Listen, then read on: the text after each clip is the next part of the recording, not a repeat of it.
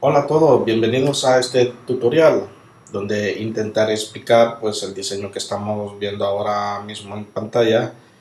Este diseño pues lo trabajé más que todo en After Effects con el plugin Element 3D.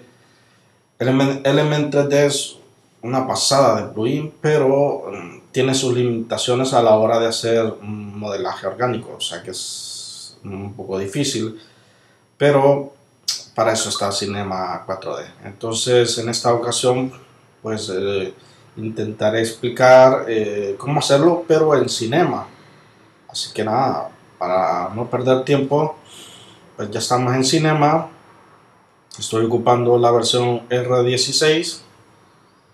Por si alguien pregunta, pues si alguien está ocupando una versión pues, actual, pues nada, no pasa nada o una versión anterior. Pues nada, eh, se crea un cubo, lo que hago es eh, bajarlo pues en la posición Y, en este caso lo dejamos a 20, duplicamos el cubo hasta acá y con la herramienta escalar pues un poquito un poco nada más, a modo que quede de esta forma. Un poquito más, vamos a ver, ahí.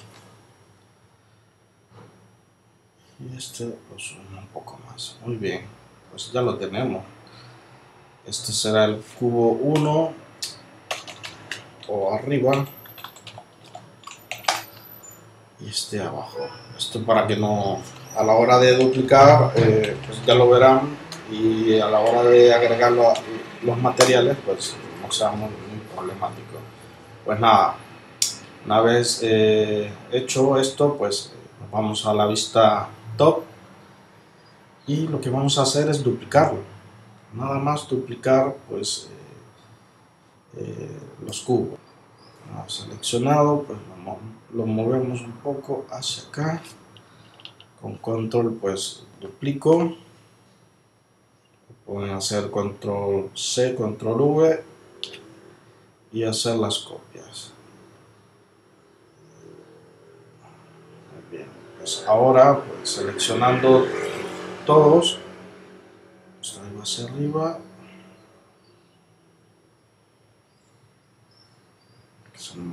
He movido un poco la vista, pero bueno. traigo hacia acá, sabiendo la distancia vuelvo a duplicar estos dos. Ah, pero antes de duplicarlo pues mira secreto para que eh, sea un poco más dinámica la, la base pues lo bajamos lo subimos como ustedes gusten hacerlo pues en este caso yo lo bajo a esta altura la idea es que se pueda ver el de abajo.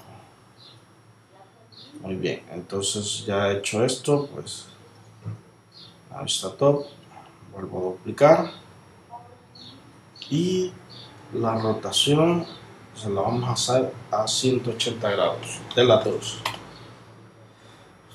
¿Por qué? Para que no, no, no se vea fijo solo uno de, pues de el duplicado no sea solo de un lado, sino que sea de ambos. Para explicarme mejor, o sea, para que se vea así. Porque si yo lo dejo a cero, pues me quedan dos abajo, dos arriba. Entonces, para que tenga una, una dinámica mejor, ¿no? Por decirlo así. Pues nada, eh, seleccionamos todos los cubos en fillet pongo 2 o 3 y la distancia 1 entonces ya podemos ver que ya tenemos mejor resolución. Seleccionamos todos los cubos y hacemos el grupo. Cubos como, como deseen llamarlo antes de nada pues eh, cambiamos la medida en este caso de 1920 por 1080. Pues nada, eh, monograph, el cloner, usamos el grid, acá pues pongo 6, eh, con 4 creo que está bien, aquí ponemos 0 o 1, nos deja 1 y empezamos a modificarla pues la distancia ¿no? que acá está bien y movemos el de acá.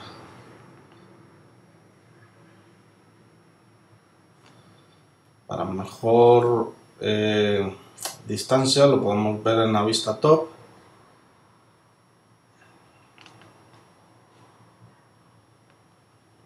entonces acá y, acá entonces ya tenemos la base del suelo no creamos un cubo más que este es el que lleva la información no lo que mirábamos al inicio pues este es el cubo que lleva pues, texto logo los gráficos animados. Traemos un poco más al centro. Lo hacemos un poco más pequeño lo traemos hacia arriba.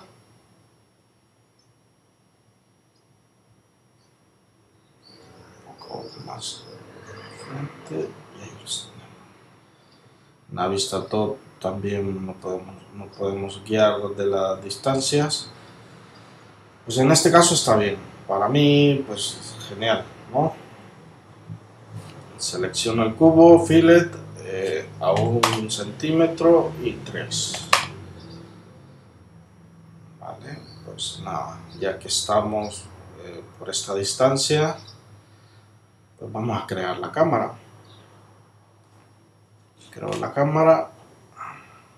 Adapto a 15 a 15 si no es mucho pues usted puede, ustedes pueden ir jugando con con la, distancia de la cámara, ¿no? En este caso lo haré de 15. Pues una vez hecha la cámara, eh, pues, ahora le escondo un poquito para generar este en pantalla, pues hacemos lo que es el material, ¿no? Los materiales, si tienen, pues quieren usar un motor como V-Ray, Octaner, etcétera, pues pueden ocuparlo en este caso yo ocupo el básico. En el material 1, pues color negro, reflexión, pues eh, agrego uno nuevo, lo dejo a 10. Vale, pues miren, esto se lo agrego aquí al cubo. Y como nombramos al inicio, abajo o arriba, ¿no? Pues eh, esto esto es así. Seleccionamos todos los que digan arriba arriba arriba arriba. Y aplicar. Ya lo tenemos. Y con el material de abajo pues nada color en este caso verde puede ser el color que ustedes les parezca mejor. Copiamos. Luminancia. Pegamos y ahora seleccionamos los de abajo que hemos nombrado abajo abajo abajo. Y aplicamos. Y ya lo tenemos. Hacemos un pre-render y podemos ver. Muy bien. Pues nada ahora solo queda pues eh, lo que es la la iluminación, en este caso pues eh, ocupo el HDRI Studio. Le indico que no quiero ver el suelo ni el fondo. Entonces escojo esta imagen, a ver un momento, esta, sí. Esperamos a que cargue. Bien. Seleccionamos nuestra cámara, ya está seleccionada. Hacemos un preview.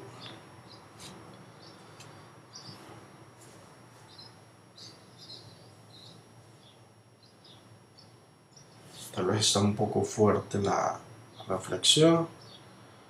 Pues vamos a ajustarla a un, a un 8. Hacemos otro preview.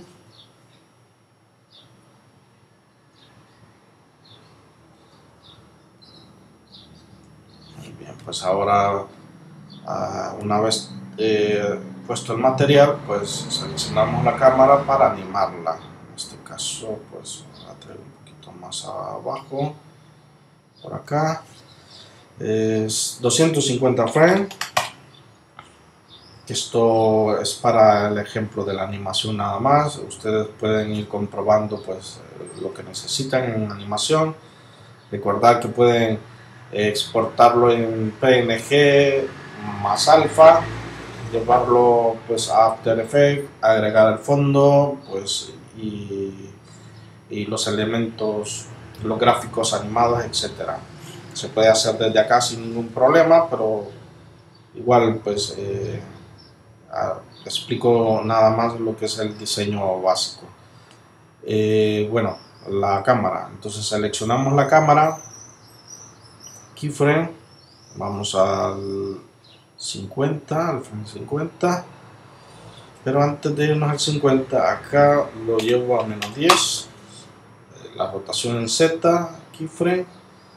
Voy al 50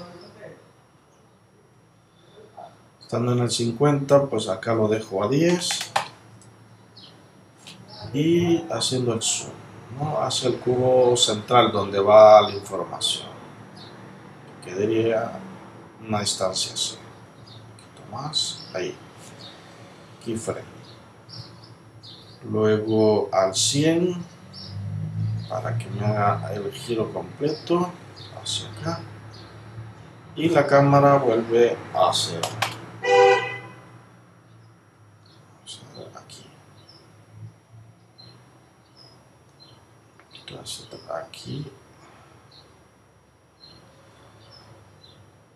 keyframe y al final pues hacemos un zoom back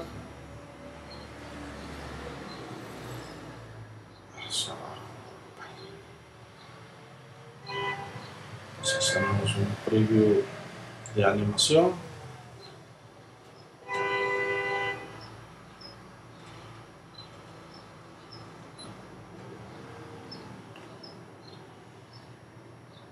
si ajustarla ningún problema por acá no sé. Aquí un poquito más. Hacia este lado aquí más al centro. Muy bien. Keyframe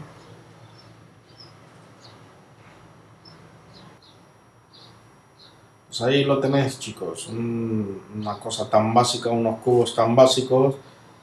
Claro que se pueden mejorar agregando gráficos animados etcétera como les comentaba, pues esto se puede agregar a un software de postproducción sin ningún problema. Cualquier duda, cualquier pregunta, pues déjenla en la descripción en los comentarios del tutorial. Si les gustó, pues like y nos veremos en el siguiente tutorial. Hasta luego.